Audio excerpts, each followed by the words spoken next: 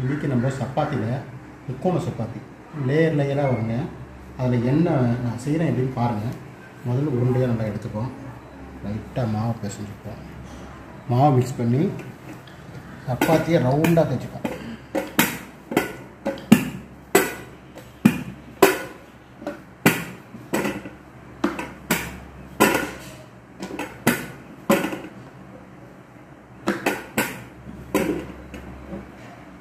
ரவுண்டாக தேய்ச்சாச்சா?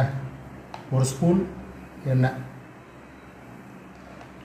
இந்த எண்ணெயை அழகாக ஃபுல்லாக தேய்ச்சிட்ருங்க தேய்ச்சிட்டு அதுலேயே முக்கோணம். முக்கோணம் போட்டு இப்போ பாருங்க.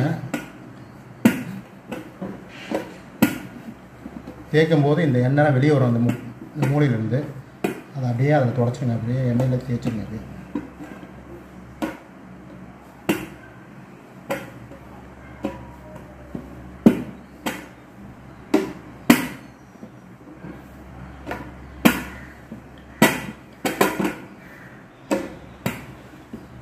அவ்வளோதாங்க ரெடி ஆயிடுச்சு இப்போ தேய்ச்சி அதை எடுத்து லேயர் லேயராக காமிக்கிறேன். சூப்பராக இருக்கும். உங்கள் பிள்ளைங்களுக்கு செஞ்சு கொடுங்க. இங்கே பாருங்க அஞ்சு சுட்டு வச்சுருக்குங்க. லேயர் சப்பாத்தி.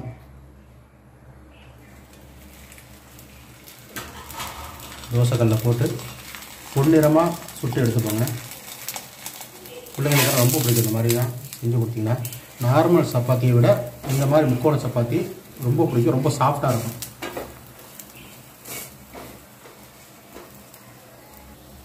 பாருங்க அழகாக அழகாக பூரி மாதிரி அப்படியே ஊதி வரும் பாருங்க.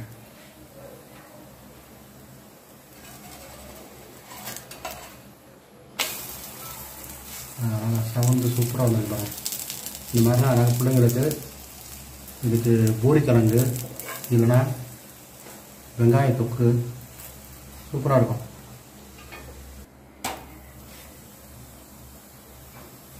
நல்லா வந்துருச்சு பாருங்க சூப்பராக அப்படியே சும்மாவே சாப்பிடலாங்க.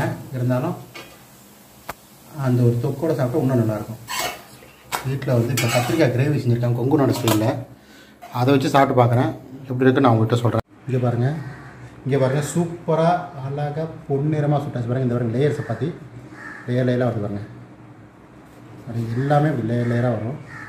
நீங்கள் பூ இந்த மாதிரி ஹோட்டலில் வாங்கி புரோட்டா வாங்கி கொடுக்குறதுக்கு இந்த மாதிரி கோதுமையில் சப்பாத்தி இந்த மாதிரி லேயர்லாம் செஞ்சு கொடுத்தீங்கன்னா சின்ன பிள்ளைங்களுக்கு ரொம்ப பிடிக்கும். நீங்கள் வீட்டில் ட்ரை பண்ணி பாருங்கள் இங்கே பாருங்கள் இதுக்கு சூப்பரான கறி சுவையில் கொங்கு நாடு கத்திரிக்காய் கிரேவி இது சாப்பிட்டு சொல்கிறேன் நான் எப்படி இருக்குன்ட்டு. இங்கே பாருங்க அழகாக ஒரு சூப்பராக